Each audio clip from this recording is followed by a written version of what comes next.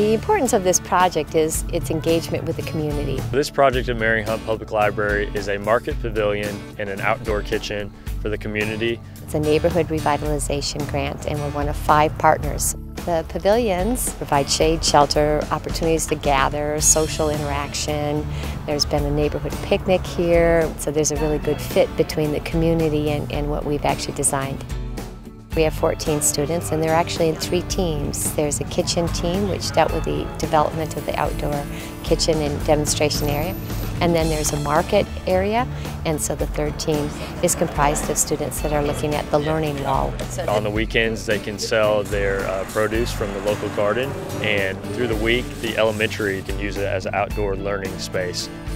From the student perspective, of course, it's, it's about building and it's about making something and it's about taking the design and actually seeing it come to real life. My favorite part of all is just being out here in the dirt, making things. It's also about teamwork and empowering leaders to empower other leaders. I was kind of the project manager, so I did a lot with scheduling, making the calendars, and planning out when and what we wanted to get done. I communicated a lot with the community itself.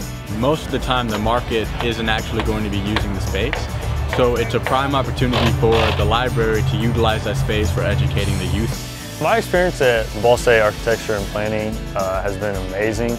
Got a very good reputation when it comes to the architecture program. and For any young kid who's wanting to get into architecture, I would highly recommend Ball State. Drawn footers and we've, you know, studied how it's built, but we've never been hands-on and like doing it ourselves and it's a great learning experience for us in the field.